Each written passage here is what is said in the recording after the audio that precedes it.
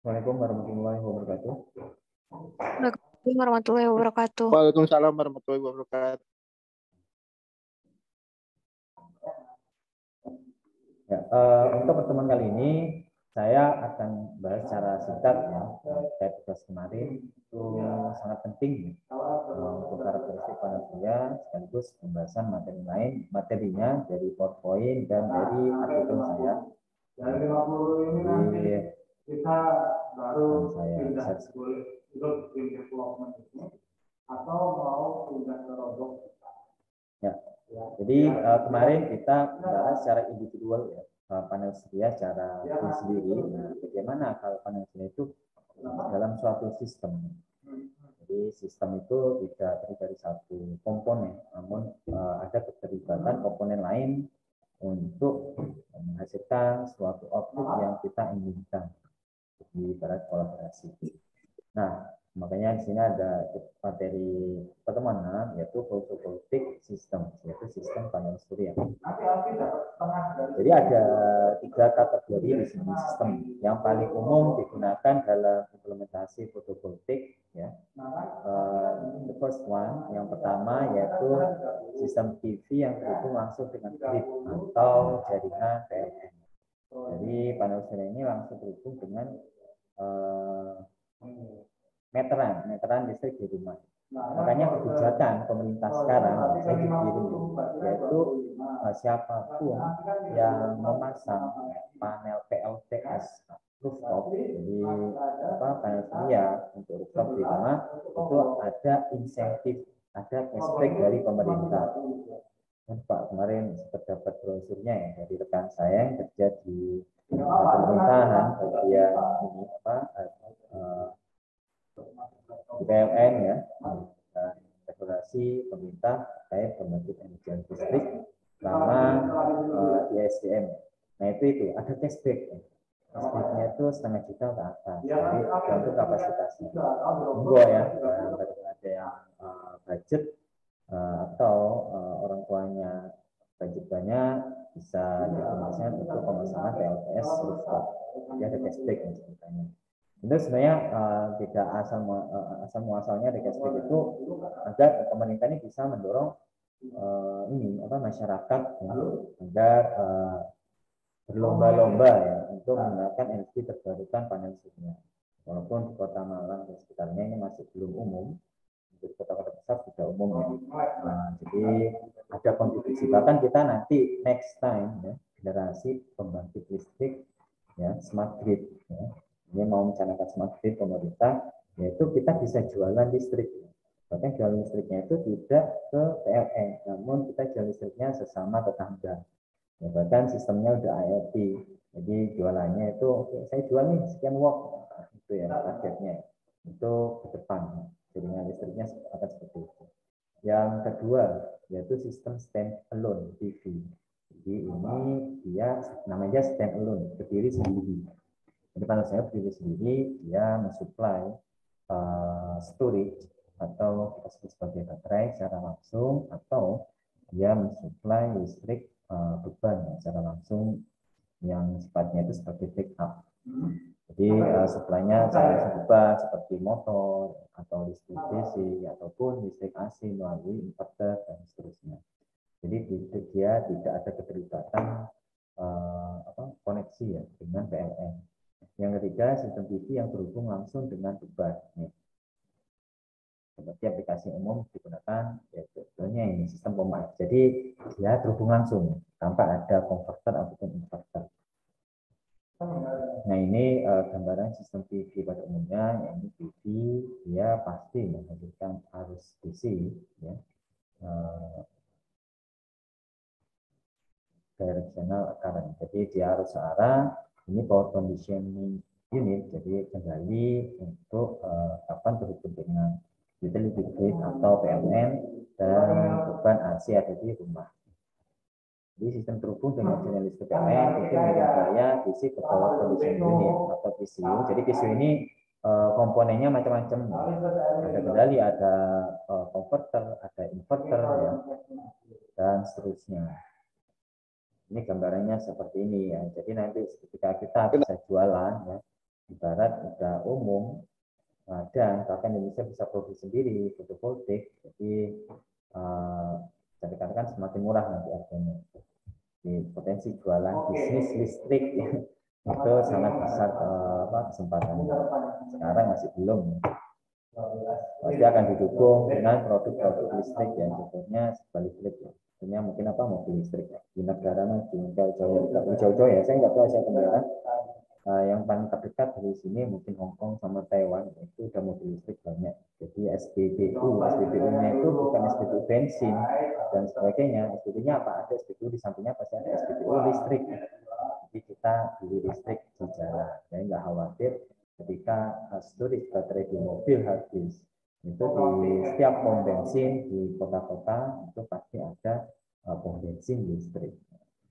Sini masih belum infrastruktur seperti itu. Jangan infrastruktur itu ya. Uh, itu pastinya tidak ada ya. Infrastruktur seperti itu itu tidak recommended uh, apa namanya jaringan distribusi di atas daratan atau udara ya. Yang seperti kita lihat ya semerawut gitu ya. Nah itu harus ada di bawah tanah konsekuensinya bawah tanah posnya tinggi ya namun pasti uh, lebih minim ya kerusakan kecuali gempa ya. Oke, nah ini sistem PV ya. Jadi PV uh, kalau terhubung dengan PLN itu pasti ada kontrol panel untuk uh, uh, walaupun standalone juga ada charge controller untuk mengendalikan uh, apa namanya daya ada di titik maksimal. Makanya kemarin tugasnya kan menggambar karakteristik ya. Karakteristik ada di titik puncak. Jadi PV itu dia ada operating point uh, power point ya, yaitu titik daya operasi. Nah, di daya pricing dia mengikuti grafiknya itu. Grafiknya itu seperti kayak gunung gitu ya. Grafik daya terhadap tegangan, perubahan eh, tegangan. Makanya tidak dia tidak selalu di titik puncak, suka-suka ya itu tergantung radiasi dan komponen material lainnya dia bisa drop, bisa naik dan seterusnya. Makanya di sini ada namanya charge controller. Nanti ini akan saya jelaskan di paper saya, artikel saya. Uh, itu uh, saya membuat suatu kendali ya Panasya dengan beberapa algoritma yang sederhana. Oke. Nah, ini sistem PV yang terhubung langsung dengan beban. Contohnya untuk aplikasi di pertanian, ya, irigasi air dan pompa air itu dia terhubung langsung dengan motor DC. Karena terhubung langsung, Pak, motor AC bisa ya bisa, tapi kan pas, pasti ada jembatannya yaitu inverter. Ini case-nya terhubung langsung terhubung langsung pastinya bebannya cuma satu jenisnya yaitu beban DC entah lampu, lampu ataupun motor ini uh, bisa ya ketika di rumah-rumah ada di yang punya tandon air atau apa yang sering macet airnya ya bisa pasang panel surya yang uh, sederhana dikoneksikan dengan motor yang untuk pompa air. Ini ada ya. Ini untuk kalau ini apa? ini sebenarnya uh, kemarin kan ada yang ini saya ya Pak. Bagaimana bingung deskripsi atau apa. Ini dari materi ini ya. Ini kalau materi angkatan semester semester ke atas itu kan mata, mata kuliahnya udah lebih konsentrasi ya. Itu sebenarnya banyak ide dari sana. Dari sini pun banyak sebenarnya idenya. Ya, perancangan panel surya ya untuk aplikasi ini pompa air irigasi dan sebagainya ya. nah ini kurvanya ya kurvanya jadi uh, saya menemukan ada skill yang masih salah ya. Nah ini uh, kurvanya di sini lah. Jadi uh, dia ini kalau ini kurva current ya terhadap uh, with respect to atau terhadap voltage tegangan. Jadi dia ada di titik operasi puncak di sini. Perkalian antara arus dan tegangan dia menghasilkan kurva Nah, belum ada. Kurva ini ya, yang kurva antara daya terhadap uh, tegangan yang membentuk suatu gunung tegangannya melenceng ke kanan.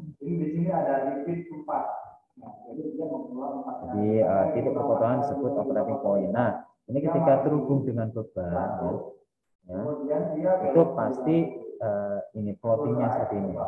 Jadi dia menunjukkan suatu kayak apa ya namanya kayak uh, kalau khusus bebannya motor ya nanti ya. Nah ini uh, hubungan ya uh, titik operasi ketika berhubung dengan beban. Nah, fotonya disebut dengan operating point. Nah, pertimbangan beban hambatan ya. Jadi nggak asal pasang beban, itu ada beban minimal dan maksimal. Jadi uh, tergantung titik operasinya akan berpengaruh uh, kapan uh, ada limitnya pastinya nah, dengan ada constraint dari arus ini.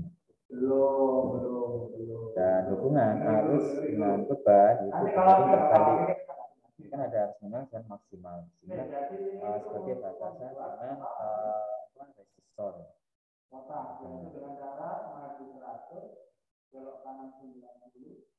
pengaruh beban radiasi ya. Itu uh, ini radiasi yang uh, cukup uh, riskan di titik operasi beban sama ya. Jadi semakin tinggi, uh, semakin rendah radiasinya, titik operasinya juga rendah ya. Bekerja di uh, tegangan yang rendah. Makanya uh, dia sangat bagus ketika di radiasi yang maksimal apalagi untuk beban beban motor.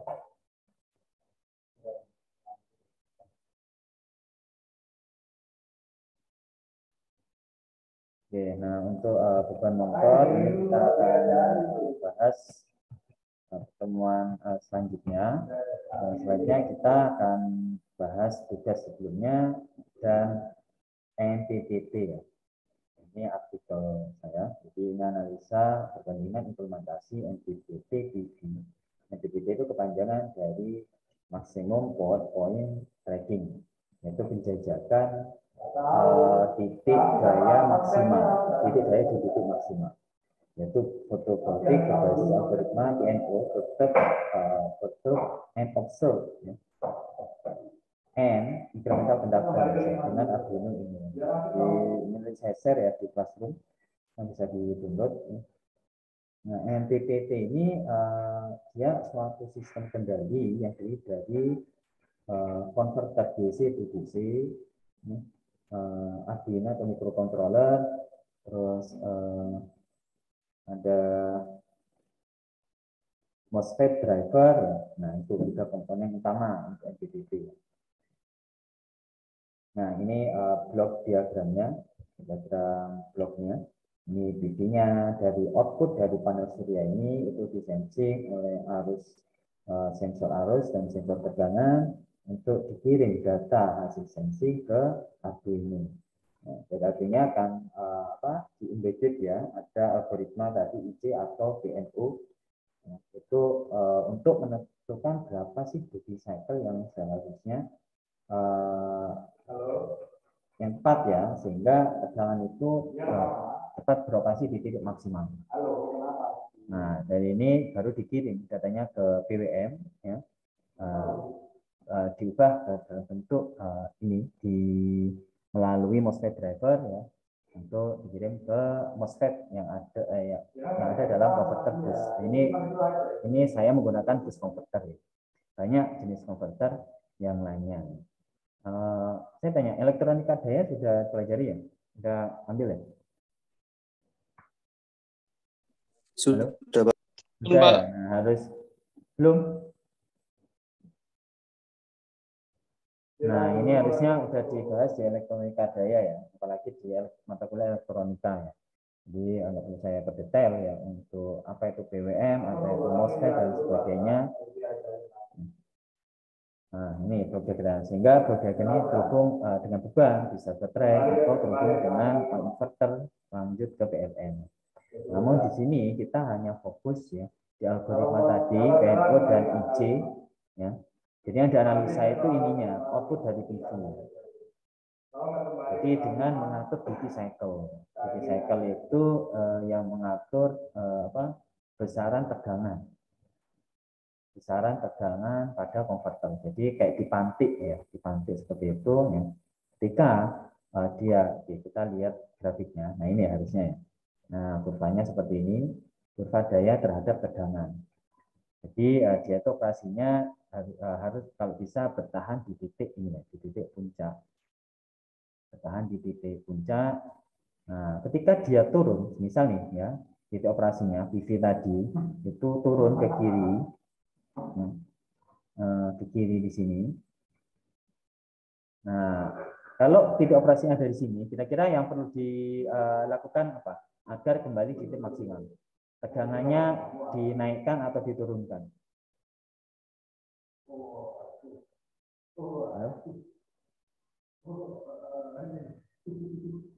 ini mau main robot aku pasti mutar-mutar kalau coding coding robotnya itu lebih berat dari pada tidur semua kayak ini ketika uh, titik operasi tegangan ya ketika bergeser ke kiri kira-kira yang harus dilakukan agar di titik maksimal itu dinaikkan tegangannya atau diturunkan Diturunkan, Pak. diturunkan Mas Riki, uh, Riki ya. Ada respon lain? Ada. Kalah Mas.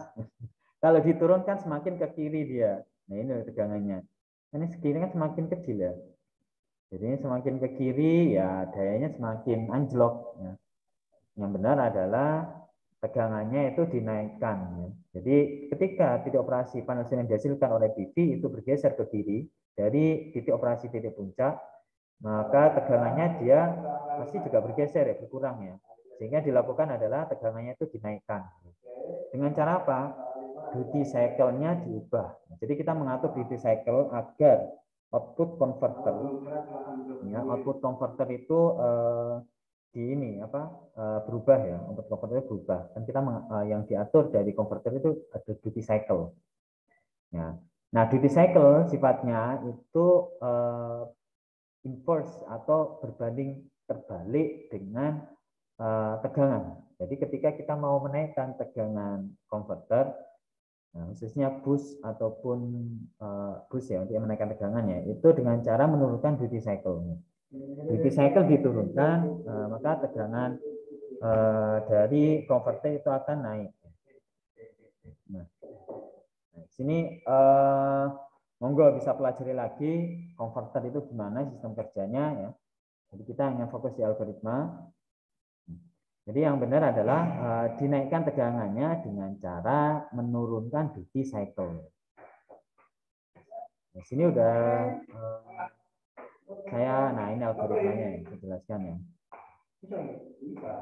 dan sebaliknya ketika eh, daya ya bergeser ke kanan ya, bergeser ke kanan maka yang dilakukan adalah tegangannya diturunkan dengan cara menaikkan eh, nilai duty cycle ya dengan cara eh, menaikkan duty cycle makanya eh, ini ya dia kita itu bekerja di duty cycle sebenarnya. Makanya duty cycle itu output dari Arduino. Duty cycle itu nilainya ada yang tahu nih nilai dari duty cycle itu minimal berapa, maksimal berapa? Bisa dalam bentuk persen, bisa dalam bentuk desimal. Nah, ini saya kasih poin. Go, ya yang tahu duty cycle. Kalau dalam bentuk uh, nilai itu berapa, kalau dalam bentuk per, uh, persen itu berapa? Yang tahu nilai duty cycle?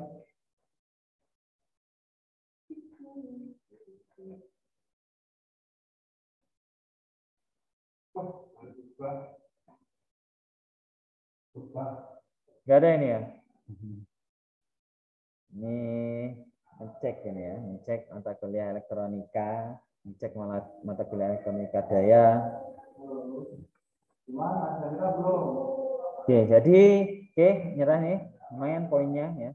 Misal ini poin kalau saya ketika tanya, saya bilang poin itu di luar dari nilai secara total ya. Jadi backup nilai UTS dan UAS. Oke, nggak ada? Nah, oke. Nah, duty cycle itu nilainya 0 sampai 1 ya. Namanya cycling. Cycling. Eh, atau kalau dalam bentuk persen itu 0 eh, sampai 100 persen.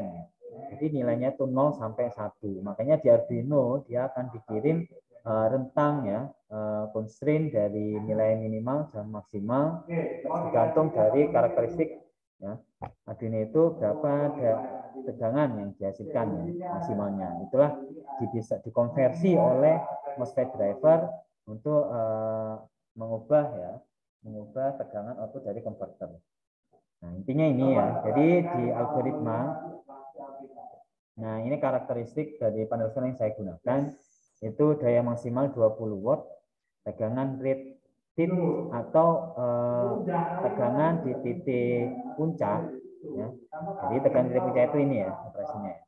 Itu eh, 17,2 volt eh, arus rated ya atau arus di. Jadi ini dari titik puncak kita bisa tarik di kurva tegangan dan kita bisa tarik di kurva arus ya.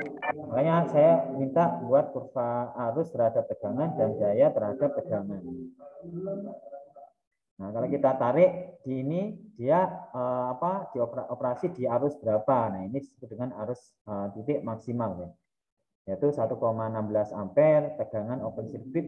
Tegangan open circuit di sini ya. Ketika kondisi terbuka tanpa ada beban atau apa pun ya itu 20,64 ya, short circuit ya. ini ketika pasti ini nilainya lebih tinggi daripada arus di titik maksimal ya. Karena ini kondisi short ya kondisi short namanya kondisi short itu arus tertinggi ya. jadi maksimalnya itu 1,3 ampere. Jadi ini kondisi pengujiannya ya. Nah inilah sebenarnya rumus dari kalau bisa di apa eh, nilai hubungan antara uh, nilai tegangan, uh, arus saturasi dengan arus output yang diserap oleh panel surya.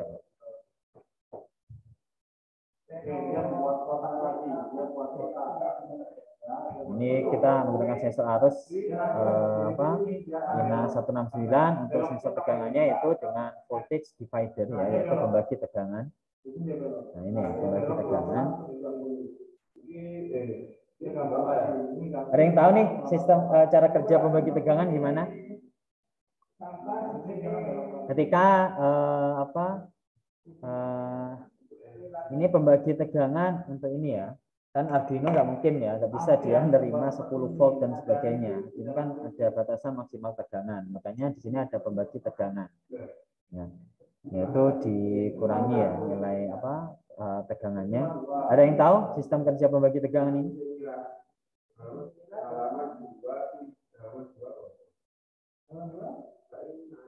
Halo? Ini ini mata kuliah hari ya, yaitu rangkaian listrik ini. Apalagi udah udah praktek ya rangkaian listrik ya, praktikum? Belum, Pak. Belum, Pak. Oh, belum. Ayo monggo yang bisa tahu sistem kerja pembagi tegangan.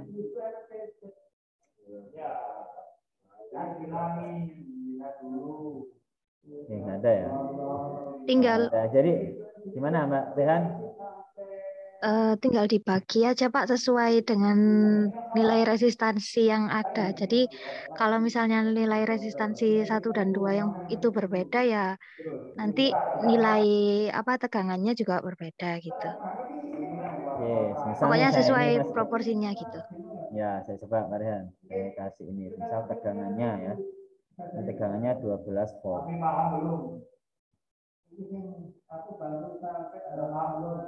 Nah, di ini itu kan 5 volt ya maksimal. Oke, agar eh, ini resistornya, ini resistornya, kira-kira berapa nilainya agar outputnya ini kita pengennya 4 volt. Rehan. Kira-kira nilai eh, R-nya harusnya berapa ini? Nilai yang R1, R2. Bisa nebak nggak kira-kira? Halo,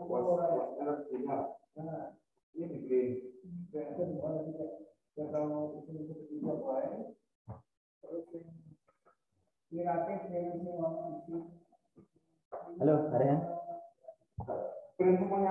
Ya, iya, Pak. Sebentar. Ya, oke, hitung ya. oke.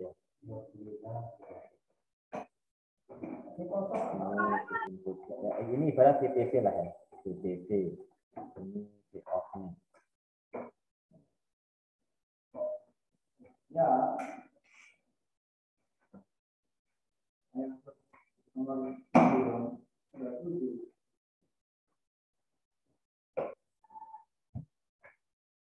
nomor aja loh. Ini. Ayo. Nomor tujuh. Ya. Halo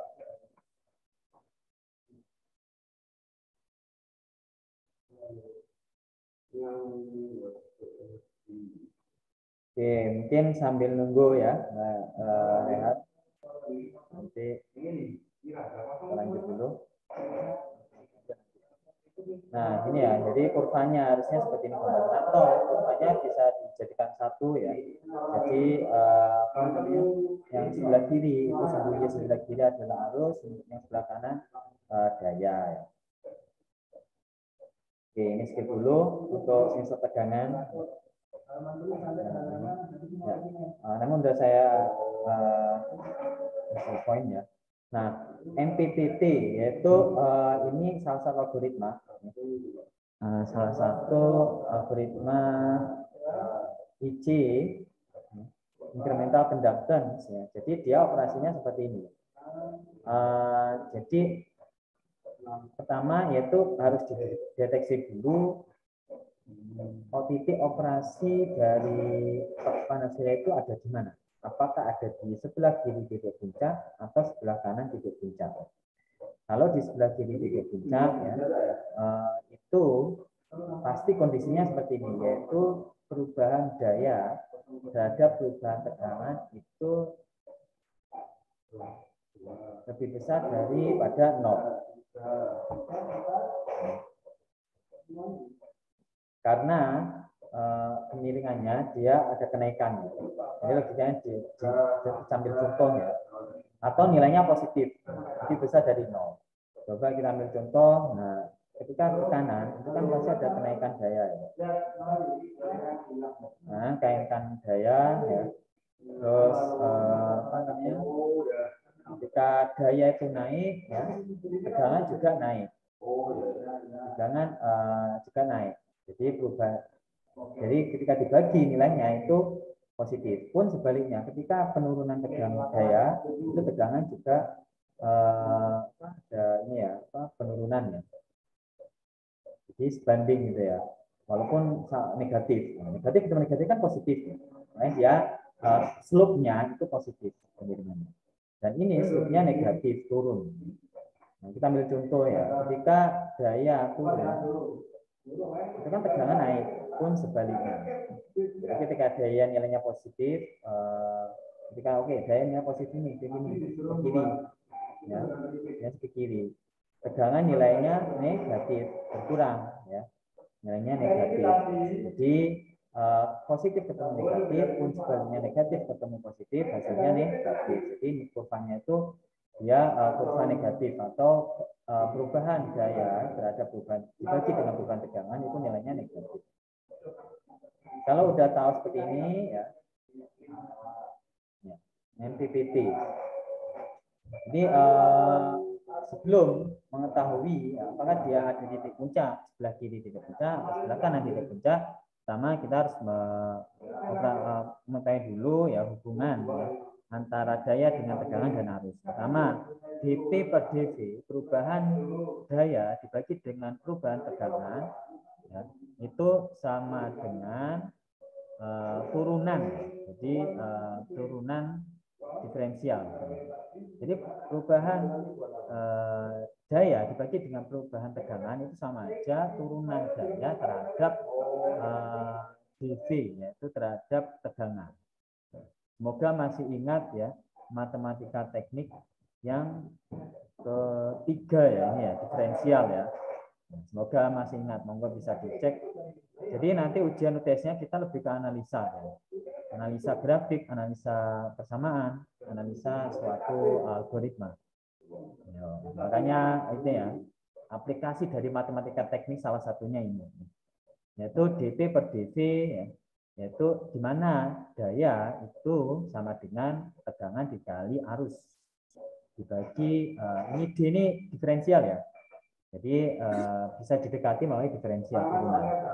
Jadi turunan Kali I terhadap tegangan itu sama dengan nah ini uh, turunan parsial ya diferensial parsial ya jadi salah satu metode uh, in, apa diferensial ketika ada dua variabel yang tidak diketahui, entah itu uh, variabel tersebut merupakan function of uh, turunan, ini kan uh, kita diturunkan terhadap V ya, voltage variabelnya. Kalau di matematika teknik pasti yang pelajari hanya X saja ya.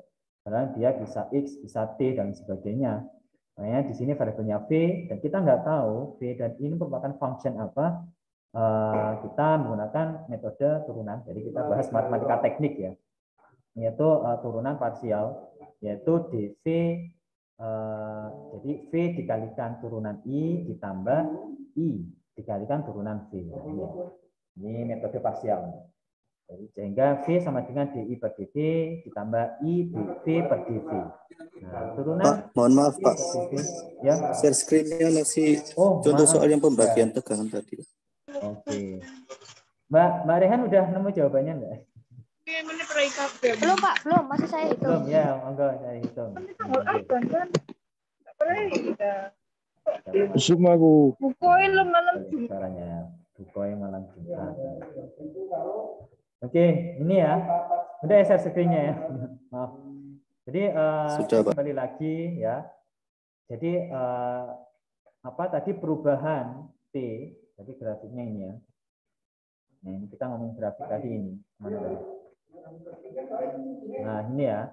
Jadi eh, ketika kurvanya naik, itu eh, dia kondisi di sebelah kiri titik puncak.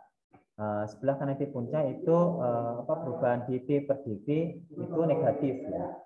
Kurvanya turun. Kalau kurva turun, eh, slope-nya turun itu negatif. Nah, Pak, ini buat apa sih mengetahui kondisi seperti ini? Agar kita mengetahui, oh ini ternyata ada di sebelah kiri titik puncak. Maka yang, harus dilakukan adalah menaikkan tegangan konverter dengan cara menggunakan duty cycle itu ya, yang dilakukan oleh algoritma. Algoritma apa pun ya. Nah, Oke, kembali lagi di sini. Nah, ini tadi ya, dP per dV yaitu sama dengan dV kali I, daya kan tegangan kali arus ya. Terhadap D. Lupa ini kok D tadi perubahannya. Perubahan itu didekati melalui diferensial. Nah, ini diferensial parsial ya. Hasilnya yaitu V DI per dV ditambah I dV per dV. Nah, jadi eh, masih ingat ya, turunan dari X terhadap DX itu adalah satu. Nah, ini variabelnya turunan V terhadap dV adalah sa- satu. Makanya di sini I dikali dengan satu ya. Kita kan terbiasa di diferensial itu variabelnya X terus ya, X saja ya. Jadi eh, kita kita harus familiar ya. Kalau enggak paham, kita hanya terpaku variabel X. Saya yakin kalau kita lihat variabel lain pasti akan bingung. Nah, makanya eh, ini yang di bawah itu dia diturunkan terhadap apa? Nah ini dia diturunkan terhadap variabel V tegangan. Yang diturunkan apa? Variabel V itu sendiri. Makanya hasilnya yaitu satu. Satu dikalikan dengan I. Ya, ditambah ini V tetap, DI per DV-nya juga tetap. Karena kita nggak mengetahui function, fungsi dari ini merupakan fungsi apa. Ya.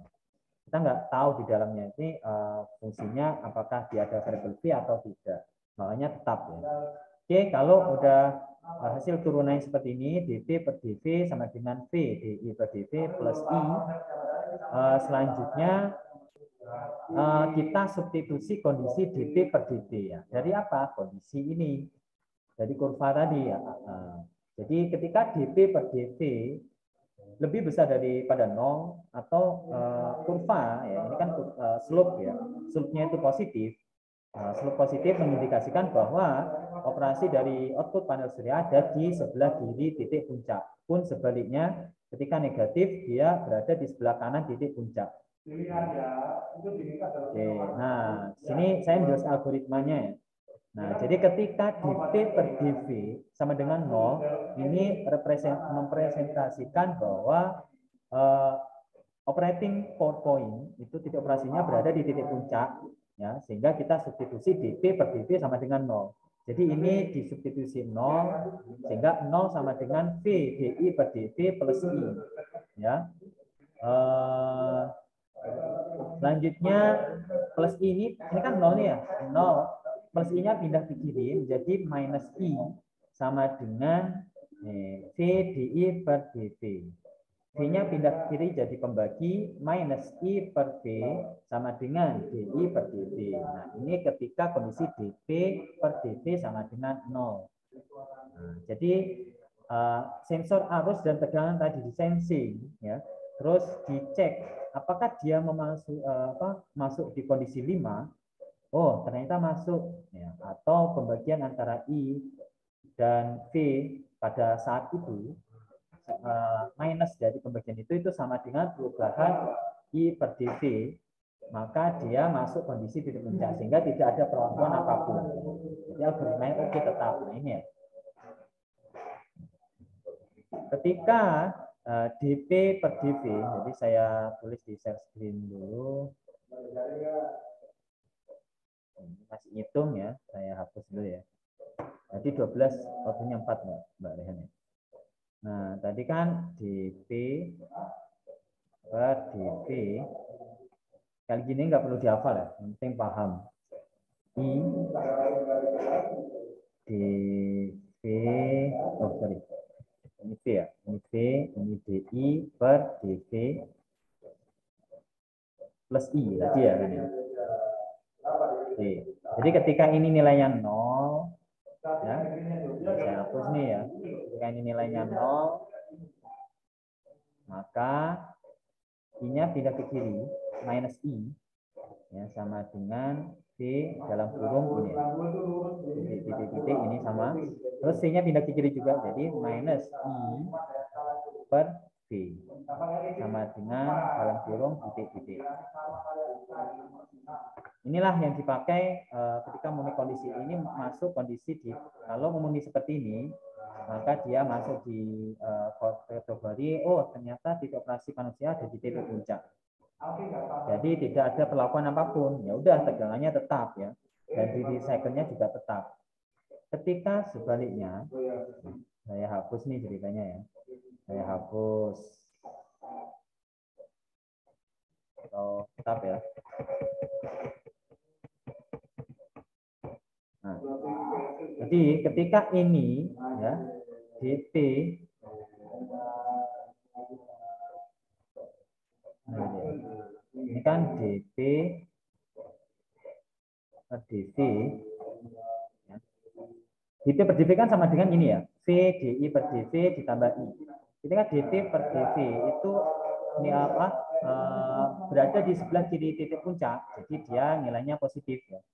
Jadi ini lebih besar daripada nol. Maka yang ini yang yang sebelah kiri ini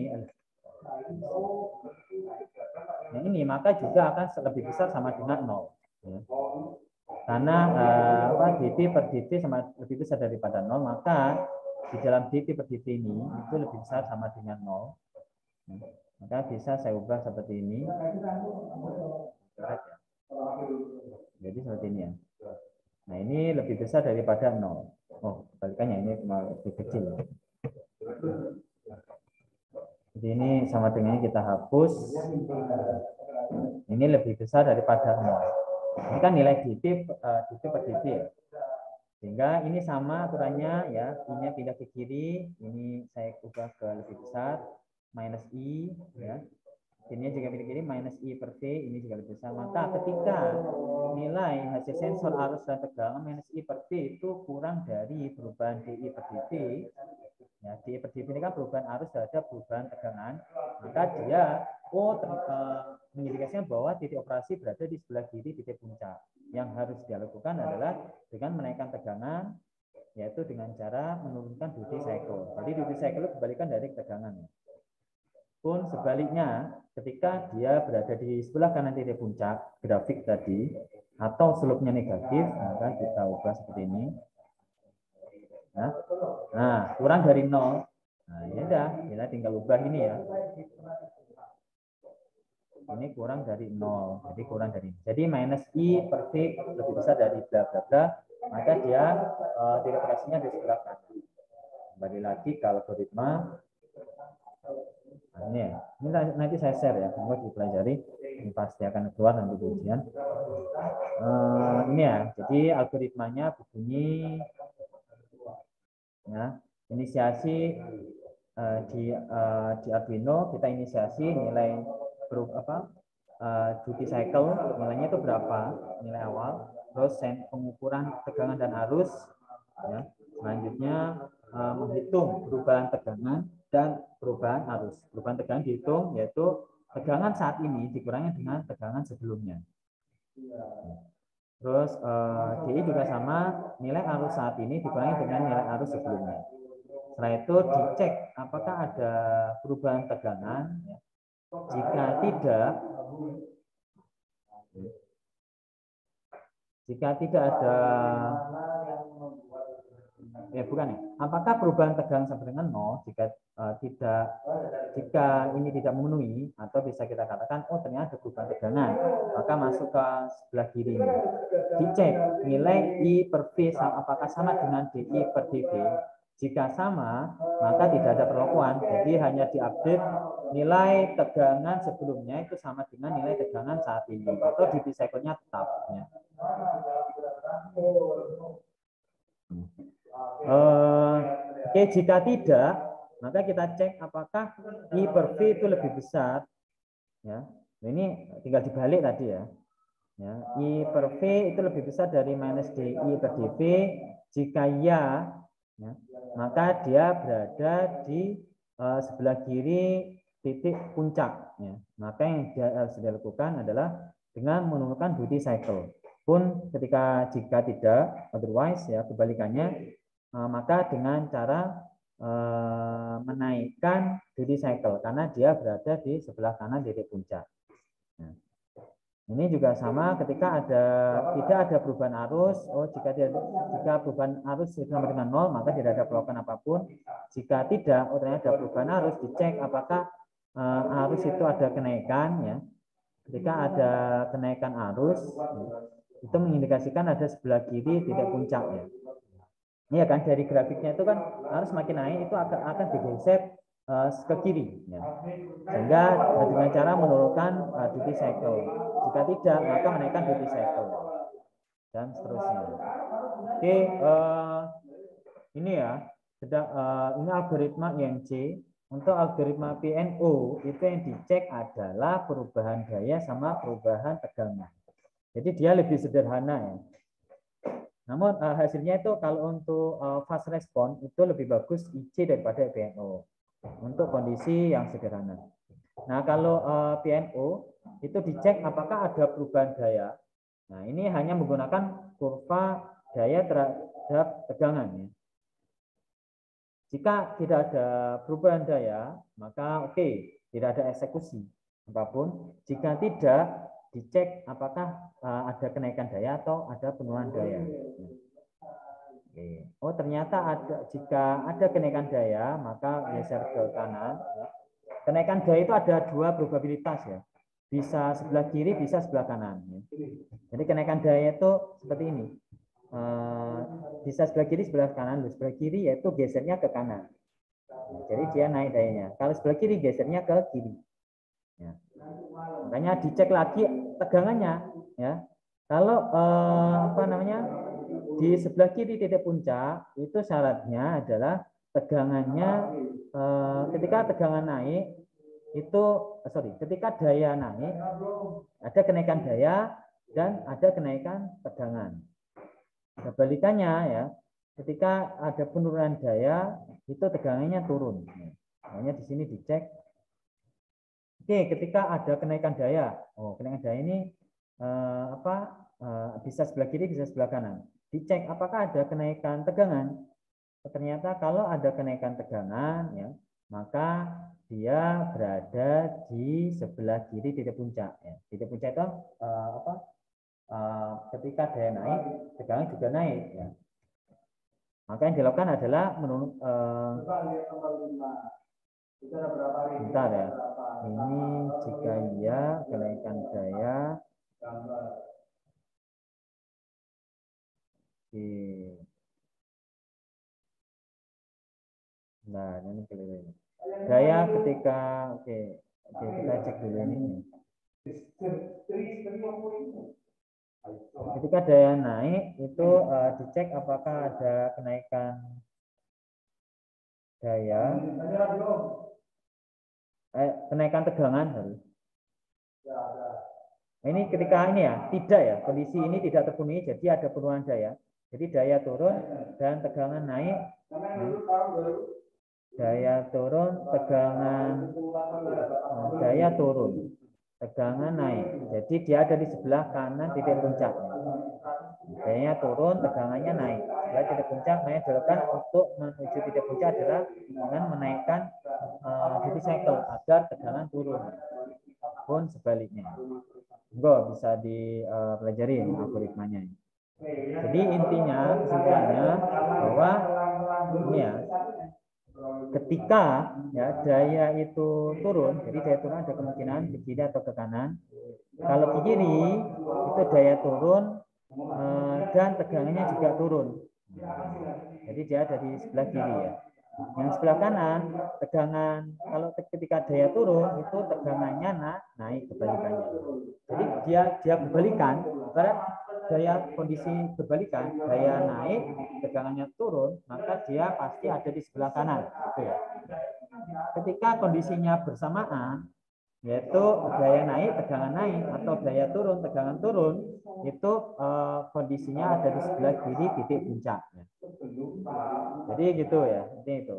Jadi uh, ingin mengetahui apakah dia ada di sebelah kiri titik puncak atau ada di sebelah titik uh, kanan titik puncak, yaitu tadi ya ngeceknya dayanya itu naik. Kalau dayanya naik, tegangan naik, maka atau dayanya turun, tegangan turun, maka dia ada di sebelah kiri titik puncak. Oke, mungkin itu dulu ya.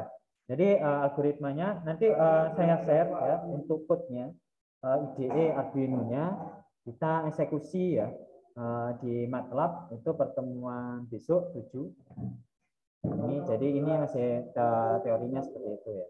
Nah ini hasilnya ini saya dicobanya ya di lab elektro ya dengan uh, kenapa menggunakan lampu ya. Karena kalau kita menggunakan sinar matahari karena ini kan analisa perbandingan ya, itu uh, mau nggak mau harus ada dua MPPT ya. Karena ini ada MPPT hanya ada satu uh, maka uh, kita menggunakan lampu mewakili uh, apa uh, mewakili dari sinar matahari ya.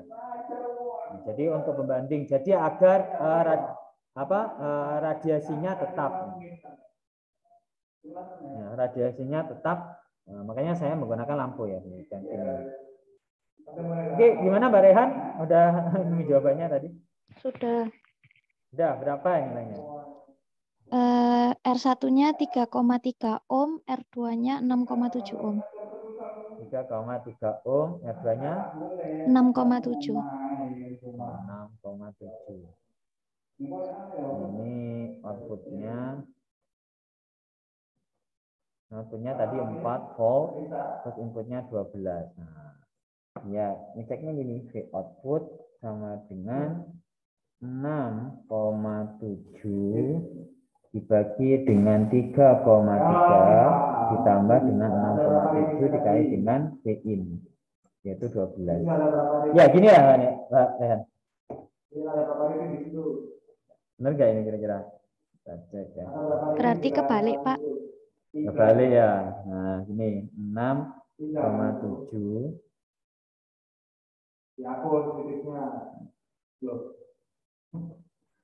yang tiga ini, ini apa namanya?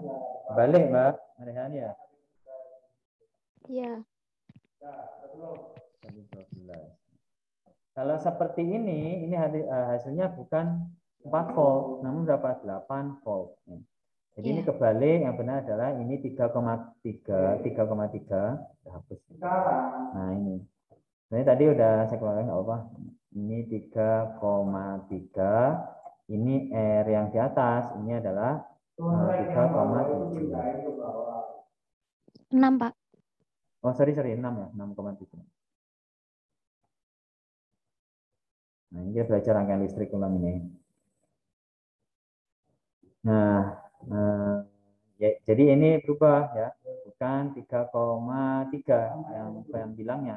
Ya, aku 3, uh, 3, bukan 6,7 namun 3,3. Nah, inilah disebut dengan uh, voltage divider. Nah, karena di Arduino Mili uh, biasanya kita menggunakan apa? Untuk satuannya kilo ohm. Kilo ohm. Atau pembagiannya tetap, uh, namun nilainya uh, seminimal mungkin ya, karena kan uh, untuk ini satunya bahkan mili ya, Arduino ya. Kalau tegangannya 12 volt atau apa, agar bisa bisa diterima oleh Arduino, biasanya kita menggunakan untuk apa? Hmm. Satuannya ohm dan lebih ini juga ya uh, apa kenapa ini kalau kecil ya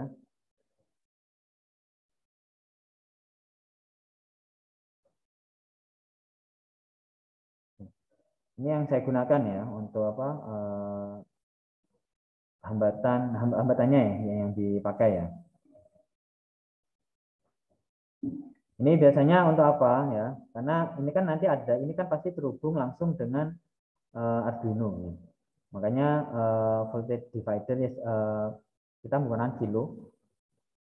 Semakin besar nilai resistornya, ya, dia kan terbanding terbalik ya, dengan apa? Dengan arus. Ya. Makanya agar arus dia semakin kecil. Ya Bayangin kalau arusnya besar, ini kan kita nggak memperhatikan arusnya ya. Ini hanya membagi tegangan. Kalau kita sensor tegangannya menggunakan uh, voltage divider. Kita menggunakan kilo karena agar arus yang diterima oleh Arduino itu kecil. Kan V kan I kali R. Jadi I itu berbanding terbalik dengan resistor. Maka semakin besar nilai resistornya akan semakin kecil arusnya. Makanya menggunakan uh, sangat uh, highly highly recommended kita menggunakan resistor yang satunya kilo. Oke, okay, uh, mungkin ada yang ditanyakan sambil saya presentasi ya.